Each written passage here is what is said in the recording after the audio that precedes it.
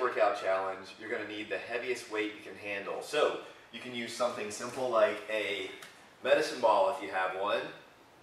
You can use a dumbbell if you have one. Or you can use a small child if you have one. It really doesn't matter. Just get anything you can find around the house that's really, really heavy. All right? You're going to start with five squats. Make sure you get them deep.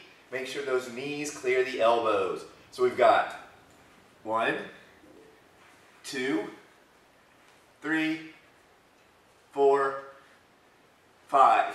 Drop your weight. Right? You're to pick a leg, 10 kicks. One, two, three, four, five, six, seven, eight, nine, ten. Pick your weight back up.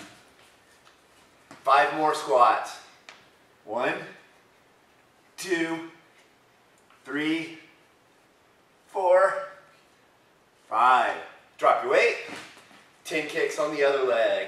One, two, three, four, five, six, seven, eight, nine, and 10. You're going to cycle through that 10 times. So you get five sets kicking on the right side, five sets kicking on the left side. Enjoy the workout and have a great weekend.